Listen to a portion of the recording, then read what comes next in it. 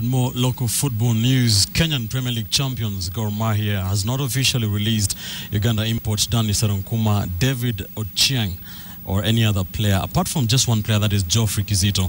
Gor Mahia officially released Ugandan midfielder Geoffrey Kizito on Tuesday after contract extension talks with the player collapsed. This is according to the club's vice chairman John Pesa, who was speaking during unveiling the unveiling of a partnership between Standard Group and Gor Mahia.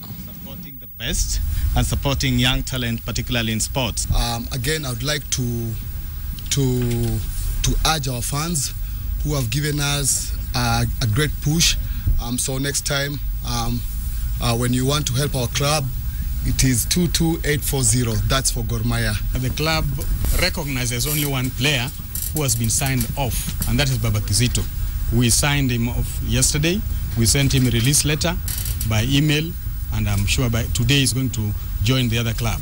For the other two players you have mentioned, Serikuma and uh, Owino, we have not released them from the club because they have not come officially to ask for their release letters.